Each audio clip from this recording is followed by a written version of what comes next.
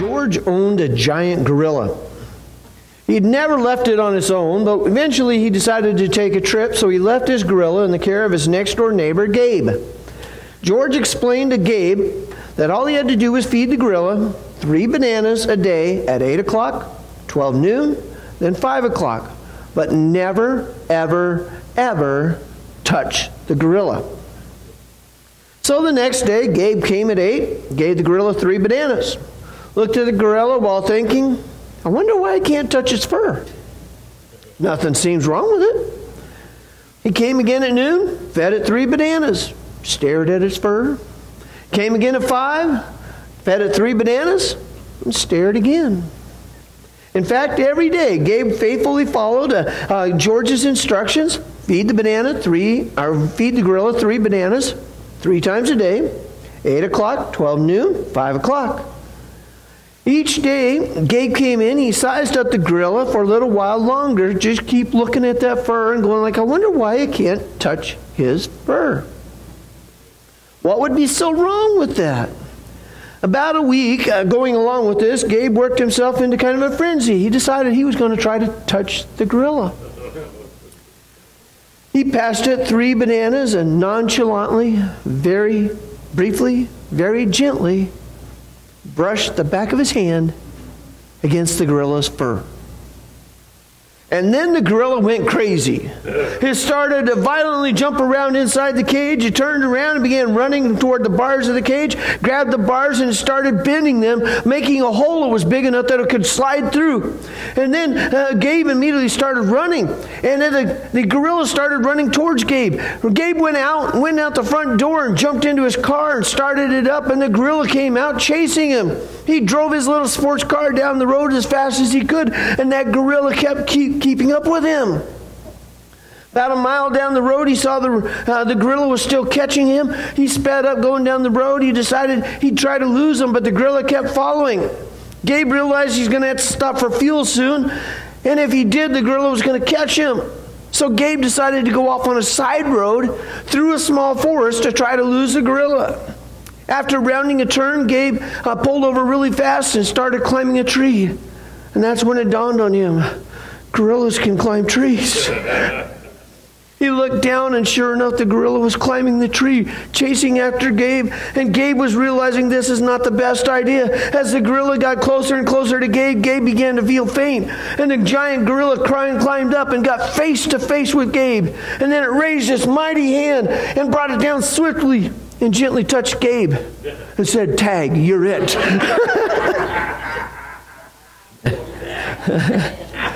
You know, sometimes it's scary to be followed. In fact, I was recently reading that to have 100 followers on Facebook is not nearly as scary as having five people follow you down a dark alley. I believe that's true. In the book of Judges, God was willing to lead the Israelites, but sometimes they did not want to follow him. Even though we just sang a song, I will follow you.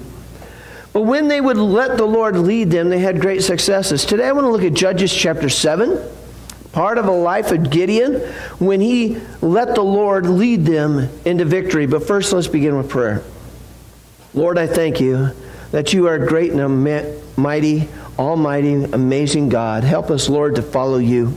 Help us, Lord, not to try to dictate what you need to do, but instead be obedient to you and let us see the victories that you provide. In Jesus' name, amen. Judges 7 begins with the Israelites and the Midianites encamped close to one another. They're preparing for war. And let me read these first two verses. Then Jerubbaal, that's Gideon for us, and all the people who were with him rose early and camped beside the spring Harod. And the camp of Midian was on the north side of, them by the hill of Moreh in the valley. And the Lord said to Gideon, The people who are with you are too many for me to give Midian into their hands, into their hands, for Israel would become boastful, saying, My own power has delivered me. Now, right away, we find that God uh, came up with a plan to prevent their boasting. To prevent their boasting. Let me get this going here. There we go. To prevent boasting. God's plan was he was going to reduce the army that Gideon had down to a size that it would make sure Israel would understand they did not win because of their great power, their great strength, their great military. They could only win by the very power of God. So let me keep reading, verse 3. Now therefore, come, proclaim in the hearing of the people, saying, Whoever is afraid and trembling, let him return and depart from Mount Gilead. So 22,000 people returned, but 10,000 remained. Or as I worded this in point A here, God was telling Gideon, You have too many people. You have 32,000 people. That's just too many. Now, now that sounds like a pretty large army if you think about it 32,000 people.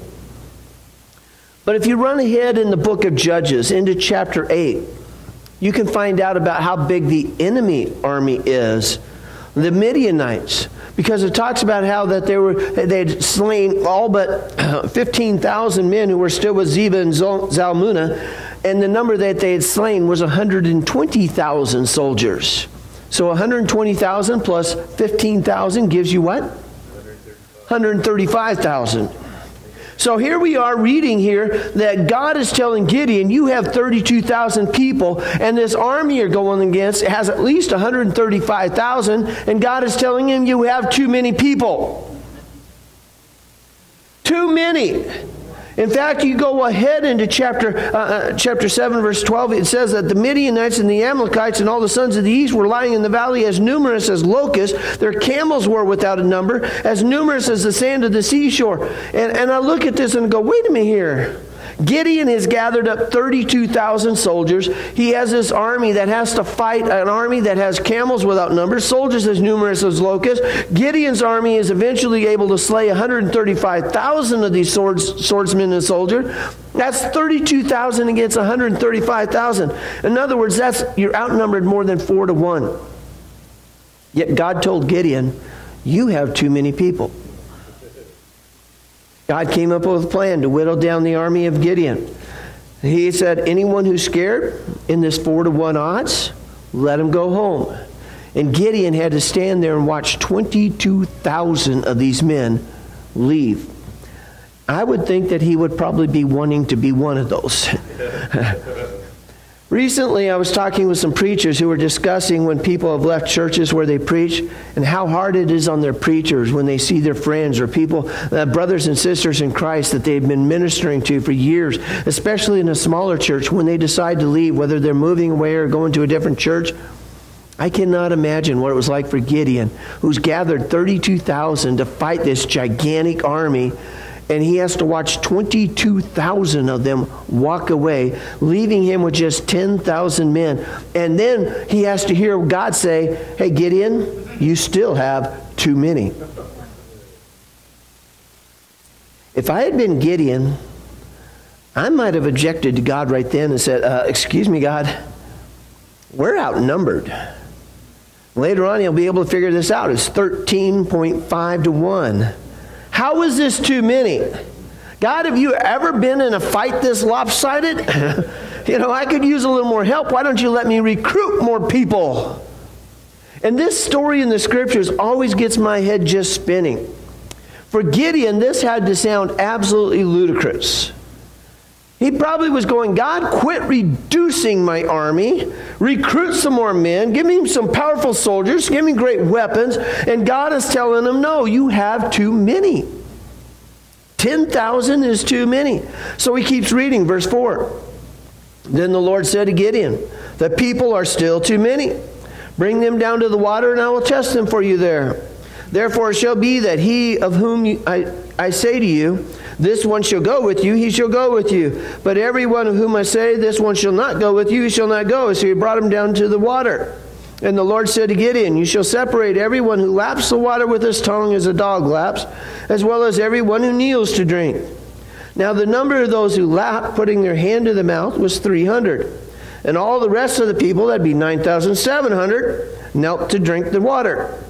And the Lord said to Gideon, I will deliver you with the 300 who lapped the water and give the Midianites into your hands. So he let all the other people go, each man to his own home. So the 300 men took the people's provisions and their trumpets into their hands, and Gideon sent all the other men of Israel, each to his tent, but retained 300 men, and the camp of Midian was below him in the valley. I mean, God instructs him, let's go down to the river, get a drink. And as they start dividing them up, those who knelt, they get to go in this pile. Those who brought the water up to their face, those are the ones that go over in this pile. And he started seeing how there's a lot more over here and very few over here. I've been seeing Gideon probably is going like, I sure hope I get this group. And God says, no, that's too many. You keep those, the 300. Because 300 is just right. That's just right. Now, again, going off the numbers of the Midianites, you actually get slain. 135,000 get slain. 300 to 135,000, that's 450 to 1. You like those odds? that seems pretty odd. Wait a minute, there's 450 of those soldiers there, and they got camels, and they got all this other stuff, and they got all these weapons, and there's just one of me? Uh, that's pretty hard. Those odds are overwhelming. I truly wish it would have been, the scriptures would have recorded more of Gideon's mindset at this time. We see a hint of it in the next few verses, verses 9 through 15a. Let me start reading in those passages. Now, the same night it came about that the Lord said to him, Arise, go down against the camp, for I've given them into your hands. Verse 10, pay attention to this verse.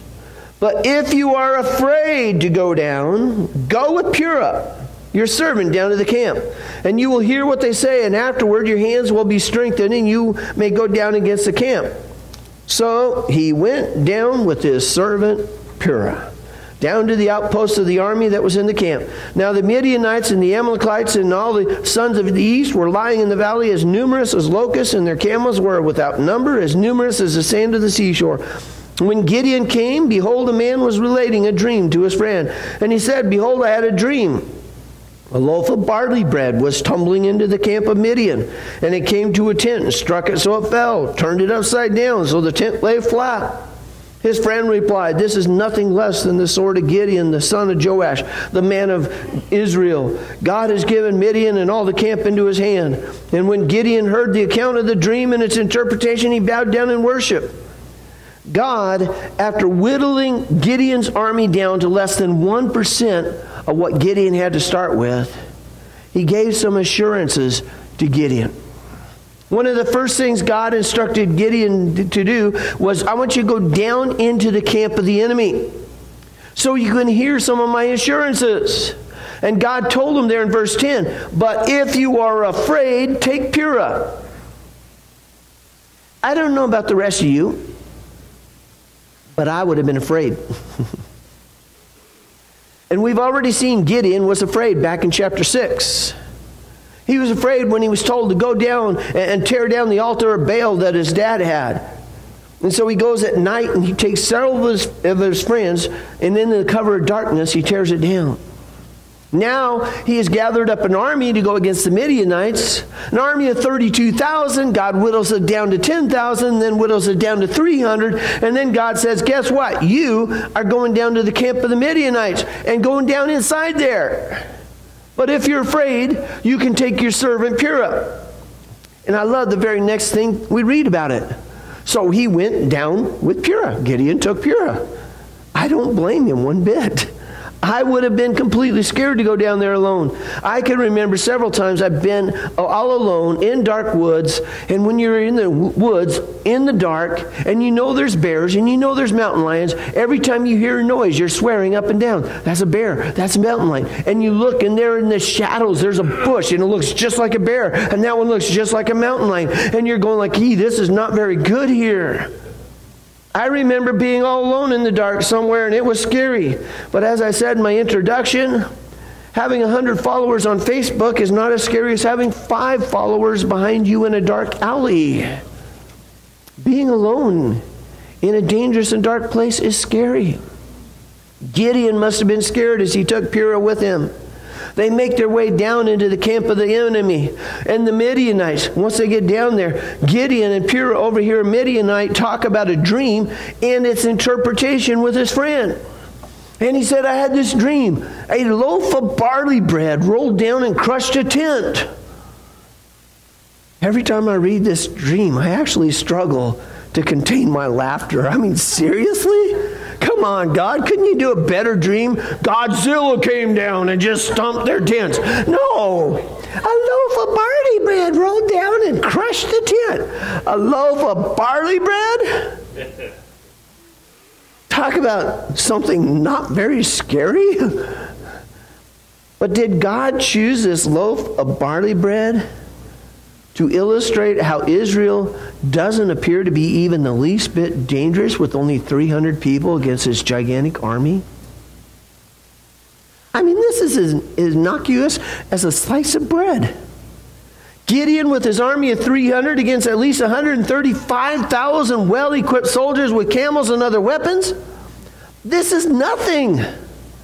But this loaf of bread in this dream crushed the tent of the Midianites, and God not only let the soldier have the dream, but God let the soldiers know the interpretation that this is Gideon's sword coming and crushing us, and we're going to be destroyed. He didn't leave them guessing. And then in verse 15, we read that when Gideon heard this dream and he heard the interpretation, that Gideon bowed down in worship of God. Now, my wife likes scary movies. I don't. I will sit there and try to watch them with her, but I get so scared I get up and walk and leave the room because it's too scary. When that eerie movie comes on and some actor or actress is walking into the very scary situation, and I'm looking at that and I'm going like, "Hey, dummy, that's not a good place to be. Get out of there, run, run, run." And yet for some reason in every scary movie, they just stand there. Going like, what is wrong with you? If I was in that situation, I'd be running as fast as I could. Do you realize that when it tells us that Gideon worships God, where's he at? In the camp of the Midianites, in the camp of the enemy, in the camp of the soldiers who want to kill him. And he's right there and he stops and he worships God. And I sit there and I go, Gideon, why didn't you go back up the hill and then worship? No, he's down there because it tells us there in verse 15. Then, as in after he worshiped God, then he returned to the camp of the Israelites. He was so assured by God after going into the camp, hearing about this barley loaf crushing the tent, knowing that the interpretation was the sword of Gideon is going to completely wipe out the Midianite army, that he is so confident he worships God right there in the midst of the enemy.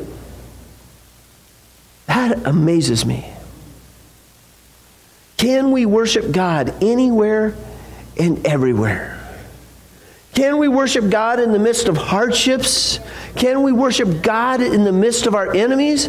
You know, I hope we can find strength and assurances for, for today from what God has accomplished for Gideon and the Israelites in Judges chapter 7.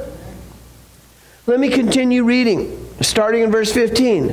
When Gideon heard the account of the dream and its interpretation, he bowed in worship. He returned to the camp of then he returned to the camp of Israel and said, "Arise, for the Lord has given the camp of Midian into your hands." He divided the 300 men into three companies, and he put trumpets and empty pitchers into the hands of all of them with torches inside the pitchers. And he said to them, "Look at me and do likewise." And behold, when I come to the outskirts of the camp, as I do, do as I do. When I and all who are with me blow the trumpet, then you also blow the trumpets all around the camp and say, For the Lord and for Gideon. So Gideon and the hundred men who were with him came to the outskirts of the camp at the beginning of the middle watch. When they had just posted the watch, they blew the trumpets and smashed the pitchers that were in their hands. When the three companies blew the trumpets and broke the pitchers, they held the torches in their left hands and the trumpets in their right hands for blowing, and cried, A sword for the Lord and for Gideon. Each stood in his place around the camp. And all the army ran, crying out as they fled. When they blew the 300 trumpets, the Lord set the sword of one against another, even throughout the whole army, and the army fled as far as Beth I'm not going to say that second word. You think it look is kind of nice. Uh, it's not a nice word. Towards Zerah, and as far as the edge of Abel Meholah by Tabbath. The men of Israel were summoned from Naphtali and Asher and all Manasseh, and they pursued Midian. Gideon sent messengers throughout all the hill country of Ephraim, saying, Come down against Midian and take the waters before them as far as Beth Barah and the Jordan. So all the men of Ephraim were summoned, and they took the waters as far as Beth Barah and the Jordan. And they captured the two leaders of Midian, Oreb and Zeb, and they killed Oreb at the rock of Oreb, and they killed Zeb at the winepress of Zeb, while they pursued Midian, and they brought the heads of Oreb and Zeb to Gideon from across the Jordan. So we get to this point, the third point for the Lord and for Gideon. Gideon has just been assured by God through the overhearing of this dream and the interpretation in the camp of the Midianites. He has praised the Lord and he came back to his army of 300 to give them the pep talk. We're going to win. Great. The Lord has given the camp of the Midianites into our hands. Great. Let's go into battle. Great. And I can picture his 300 men going, All right, let's go. Where's our weapons? And that's when Gideon revealed the plan. Hey, you know what? We only have 300 people. They got a whole bunch of people. But what we're going to do is divide up some more. Let's get it into groups of 100. Ooh, that makes it so much better. 100 against 135,000. Oh, what's that odds? That's 1,350 against each one of us? Oh, this doesn't sound so hot. Well, just as long as we got enough air power and, and uh, tanks and automatic weapons, we can do this. Gideon revealed the plan. Okay, everybody, I want you to pick up a trumpet. what key are we playing in? I'm going like, come on, a trumpet? Oh, by the way, you need a, a pitcher. Make sure it's empty. Don't have any water in there or acid or anything like that. We don't want oil. And grab yourself a torch. Okay. Where do we hold the weapons?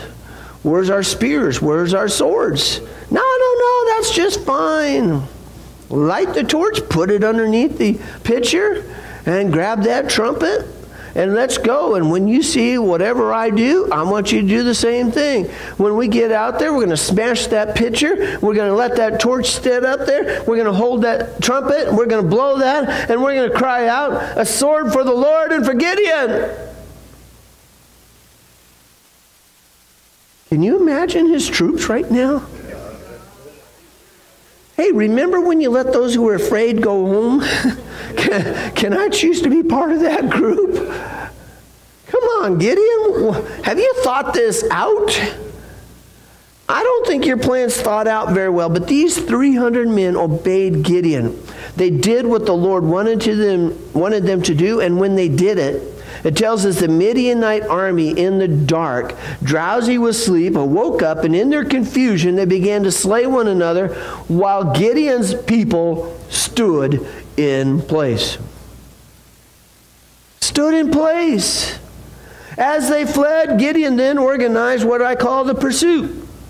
He called to the other tribes to help chase the Midianites to slay them. So men from Naphtali and Asher and Manasseh and Ephraim, they all came to start pursuing the, the Midianites. They slew the soldiers and the kings eh, for an unbelievable victory, all because the Israelites were following the leading of the Lord.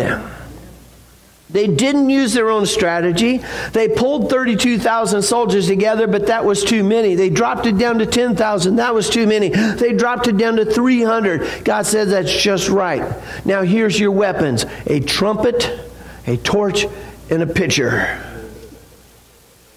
And what you got to do is stand in place while you're doing this.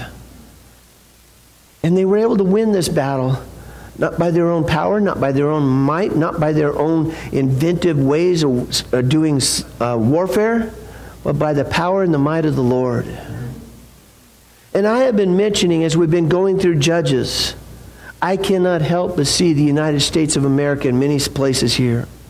How that the Israelites started mixing the worship of God and the philosophies or religions of other things. And thus they started rejecting God and they, they went in a downhill direction and God would oppress them. And we're kind of in that same aspect, sliding downhill. But we can see a chapter like this one when they repent and they turn to God. It takes only a few people, 300 soldiers with Gideon, and they can defeat the enemy so triumphantly. That God can do it with a small remnant of people. And I look at this, and, I've heard Billy tell me, quit preaching from the book of Judges. I don't like this book. I can see America myself in it. I want you to realize we don't have to be discouraged. Even if it looks like evil is everywhere, even if it looks like it's absolutely powerful and can be oppressing to us, we can still win.